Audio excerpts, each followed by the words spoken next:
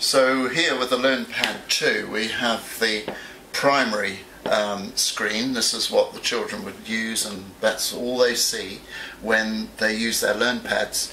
Um, protecting them from the operating system or protecting the operating system from them and only they can only focus on the applications and resources that are here but let's just say in this case that um, as this is primary to illustrate the point, uh, I'm studying in a secondary school now, and I'm outside Miss Jones's classroom here, and I need to get the secondary content. So what I do is quite simply do that, scan QR key, and I now come into where is it? Oops, there it is.